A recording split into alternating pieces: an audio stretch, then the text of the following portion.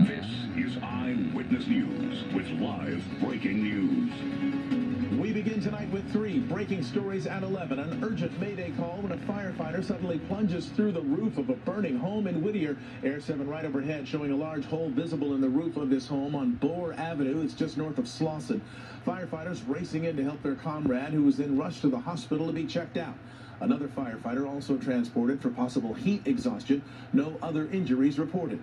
And another challenging blaze for firefighters, this time at a home in West Hollywood. This one's located on Fountain Avenue, just off Fairfax. Flames already shooting, shooting through the roof when firefighters went into the home. LA County Fire and LA City Fire both responding to this intense blaze in a densely populated residential neighborhood. No reports of any injuries.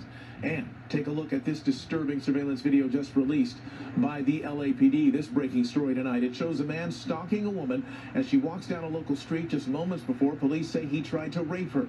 That woman walking westbound on Roscoe Boulevard toward Owensmouth Avenue when a frightening attack happened. Police releasing this composite sketch of the man. He's described as Hispanic, 25 to 30 years old, 6 feet tall, weighing roughly 200 pounds. If you have information on who this is, you are urged to call the LAPD. In this heat, we are under a constant threat of fires breaking out and spreading fast. In Simi Valley this evening, firefighters tackling fast-moving flames that were quickly approaching a local neighborhood.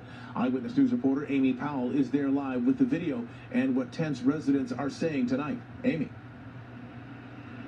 And Mark Cruz left here just a short time ago after keeping an eye on the hills near these homes in this neighborhood all evening to make sure the fire didn't flare up again. With Southern California expected to be in the grip of a heat wave for the next several days and conditions already dry, authorities are warning that the fire danger is increasing. Thick smoke